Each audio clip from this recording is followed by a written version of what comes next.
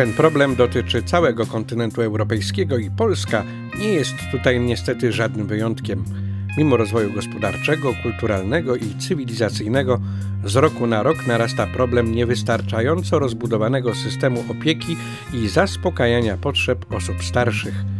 Nadchodzi geriatryczne tsunami, alarmują w tej sprawie demografowie, socjologowie i duszpasterze. Z niedostatkiem środków i nadmiarem zadań już teraz borykają się organizacje społeczne i charytatywne, szpitale, parafie i samorządy. Ciągle brakuje miejsc w domach opieki społecznej, domach seniora, brakuje też świetlic i placówek dziennego pobytu. Jak rozwiązać te problemy w społeczeństwie, które żyje coraz dłużej? Polska i Europa stoją obecnie przed wyzwaniem tworzenia sprawnych systemów opieki nad seniorami, których będą mogli oni jak najdłużej żyć samodzielnie i w możliwie jak najlepszej kondycji zdrowotnej. Jak ten mechanizm wygląda w liczbach? Jak wykazują badania i obserwacje, średni wiek życia człowieka systematycznie wzrasta. Gdy pod koniec XIX wieku wynosił on dla Europejczyków około 40 lat, to obecnie sięga już niemal lat 80 i wszystko wskazuje, że średnia ta będzie rosła. Według demografów udział europejskich seniorów powyżej 80 roku życia wzrósł z 1,1% w roku 1950 do 3,6% w roku 2000. Jest to więc wzrost 36-krotny. To jednak nie koniec, bo już w roku 2025 wskaźnik ten się podwoi do 7,4%, a w 2050 roku ma przekroczyć 14% populacji. Warto też przypomnieć, że jeżeli w roku 1900 przy średniej życia 45 lat z emerytury po 70 roku życia korzystało około 2% populacji, to w roku 2000 przy średnim wieku życia około 80 lat z emerytury korzystało już prawie 20% populacji mieszkańców Europy. Jednak wysoki wiek to nie wyrok i nie musi oznaczać potrzeby stałej pielęgnacji, jak to się ma w przypadku chorych na Alzheimera i różne odmiany demencji. Niedostatek polskiego systemu opieki nad seniorami polega przede wszystkim na zaniedbywaniu prostej potrzeby wielu ludzi starszych potrzeby czucia się stale potrzebnymi i docenianymi. Właśnie brak tego uznania ze strony otoczenia powoduje tak częste popadanie ludzi starszych w depresję i apatię. Tymczasem stale się zapomina, że wprawdzie młodzi potrafią szybciej chodzić, ale za to starsi znają dobrze skróty. Jak korzystać z kapitału ich doświadczenia? Już w połowie XIX wieku Abraham Lincoln mówił: Nie pomaga ludziom ten, kto wykonuje za nich to, co sami jeszcze potrafią zrobić. Pomaga im ten, kto im towarzyszy i ich motywuje w wykonywaniu tego, co mogą jeszcze zrobić sami. Dlatego tak ważne jest stworzenie współczesnym seniorom odpowiednich warunków do aktywnego życia, aktywnego przeżywania teraźniejszości i kontaktu z nowymi technologiami. Każda dobra aktywność przyczynia się do lepszego stanu zdrowia, dobrego samopoczucia fizycznego i psychicznego, do zadowolenia z życia. Długowieczność zobowiązuje też samych seniorów do zdrowego i kompetentnego starzenia się, do aktywności fizycznej, umysłowej i społecznej, a także do ciągłego uczenia się. Dotychczasowe doświadczenia wskazują, że nawet w późnym wieku można i należy się uczyć. Ćwiczenia umysłowe są bowiem równie ważne jak te fizyczne, ponieważ organy nieużywane zanikają, co dotyczy zarówno mięśni, jak i zdolności intelektualnych. Na te właśnie wyzwania odpowiada działająca od 2010 roku Polska Unia Seniorów, apolityczne stowarzyszenie będące częścią Europejskiej Unii Seniorów z siedzibą w Parlamencie Europejskim w Brukseli. To właśnie Polska Unia Seniorów zabiega o stworzenie w naszym kraju sieci przyjaznych osobom starszym domów spokojnej jesieni życia z opieką. Będzie to możliwe dzięki nawiązanej kilka lat temu współpracy z pochodzącą z Oświęcimia architekt Barbarą Starzyńską i Hansem Citroenem z Rotterdamu w Holandii.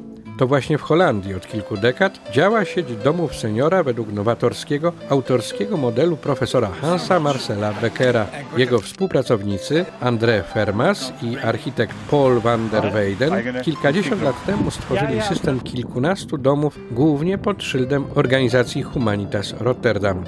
Stale modernizowane i udoskonalane są obecnie szczęśliwą przystanią dla ponad 4000 seniorów. Domy powstały zarówno w gwarnych centrach miast, jak i w cichych obszarach podmiejskich wśród zwykłych osiedli i malowniczych kanałów. Ich mieszkańcy mają zapewniony szybki dostęp do pomocy medycznej i pielęgnacyjnej. Najważniejsze jest jednak, by mogli tam czuć się potrzebni i użyteczni. Dlatego właśnie codziennie mają możliwość uczestniczenia w terapiach, warsztatach, zajęciach rehabilitacyjnych, korzystają też z bogatej oferty kulturalnej.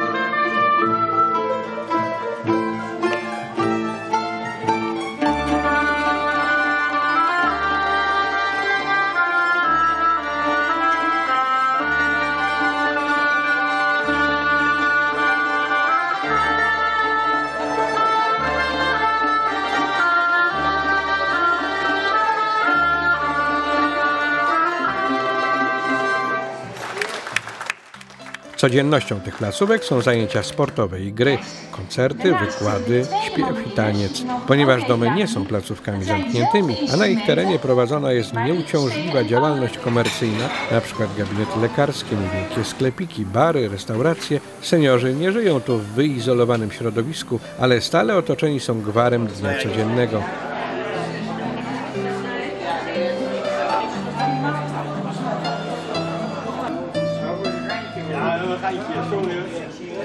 Chwile zadumy i skupienia mogą znaleźć nie tylko w obszernych, zacisznych pokojach, ale także na modlitwie i nabożeństwie w ustronnej kaplicy ekumenicznej.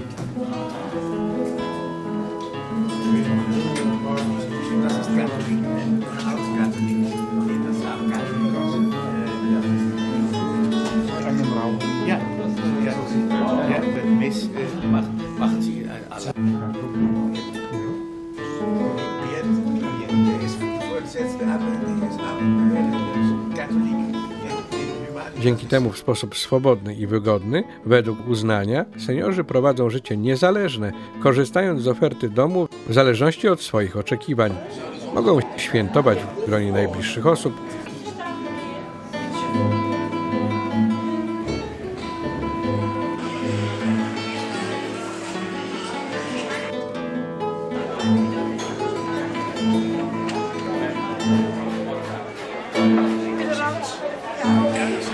Mogą uczyć się korzystania z internetu albo ruszyć w podróż wspomnień do czasów swojego dzieciństwa i młodości. Jest to możliwe dzięki muzeum, w którym zgromadzone eksponaty z domowego dnia codziennego, zabytki techniki i różnorodne sprzęty, wyposażenie, zabawki, ubrania wszystko to w wystroju wnętrz sprzed 50 czy 100 lat.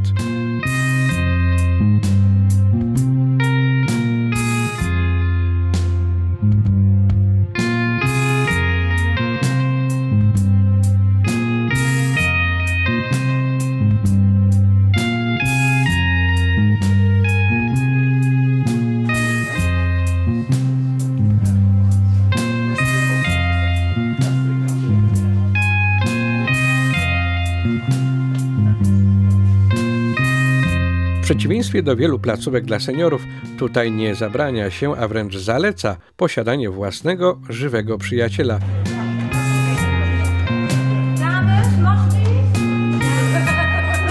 Choć oczywiście można też podglądać życie zwierząt w przydomowym mini zoo.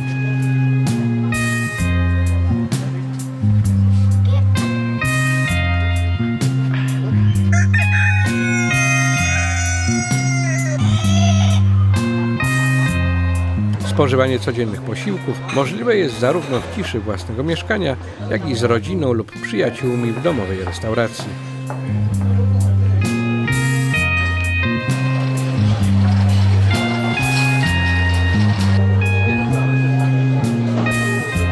Każdy chętny może korzystać z uroków domowego życia towarzyskiego, zagrać w karty, bilard i inne gry towarzyskie, wypić z sąsiadami i gośćmi w kawiarence kawę lub herbatę.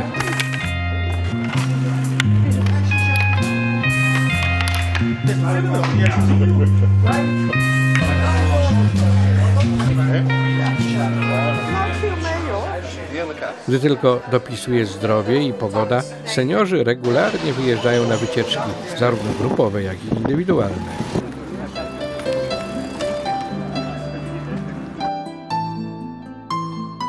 Również na miejscu możliwe jest otrzymanie lub wypożyczenie sprzętu rehabilitacyjnego i wózków, które są też pieczołowicie serwisowane i naprawiane. Co być może najważniejsze, domy prowadzone w tym systemie są placówkami dostępnymi niemal dla każdego potrzebującego, a nie dla elity najlepiej uposażonych emerytów. W warunkach holenderskich cena pobytu seniora w takim domu to tylko 720 euro miesięcznie, co w tamtych realiach stanowi około 1 trzeciej ceny wolnorynkowej. Czy podobnie może być w Polsce? Tej właśnie kwestii poświęcona była kolejna już wizyta, jaką 13 i 14 września 2015 roku złożyli w domu Akropolis w Rotterdamie przedstawiciele Polskiej Unii Seniorów z prezesem Januszem Marszałkiem wraz z reprezentantami środowiska weteranów Solidarności Andrzejem Rozpłuchowskim i Eugeniuszem Karasińskim. To właśnie wśród weteranów walki o godność człowieka, wolność i niepodległość jest szczególnie wiele niezamożnych osób, które na skutek komunistycznych represji w przeszłości teraz, gdy są w podeszłym wieku, potrzebują szczególnego wsparcia i opieki. Dom Akropolis w Rotterdamie to duża placówka miejska działająca już od ponad 15 lat. Podczas pobytu delegacja z Polski odwiedziła też najnowszy kompleks domów seniora sieci Humanitas, wybudowany dwa lata temu w małym miasteczku Nalowi, nieopodal Rotterdamu. Bogaty w program pobyt pozwolił na przeprowadzenie konkretnych rozmów dotyczących zasad, szczegółów i możliwości przeniesienia i zaadaptowania w polskich realiach tego sprawdzonego już w Holandii modelu domów seniora. Opracowany wspólnie przez stronę polską i holenderską, zatwierdzony już biznesplan realizacji pierwszego pilotażowego domu w Polsce zakłada, iż placówka będzie miała 135 mieszkań i około 60 miejsc pielęgnacyjnych. W jego skład wejdzie część przeznaczona na nieuciążliwą działalność komercyjną o powierzchni około 2000 m2, gdzie znajdą się m.in. restauracja, kawiarnia, sklepy wielobranżowe, gabinety lekarskie, zabiegowe i rehabilitacyjne. Wydzieloną enklawą będzie część, gdzie prowadzona będzie całodzienna świetlica środowiskowa dla seniorów dochodzących z okolicznych osiedli mieszkaniowych.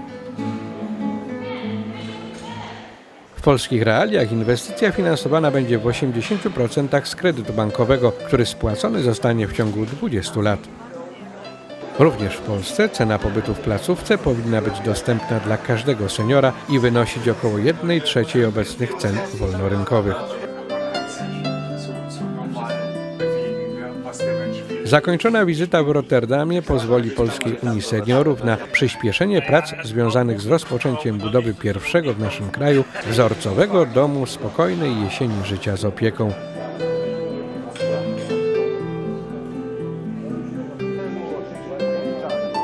Wobec lawinowo narastających potrzeb, oby takie domy zaczęły powstawać jak najszybciej.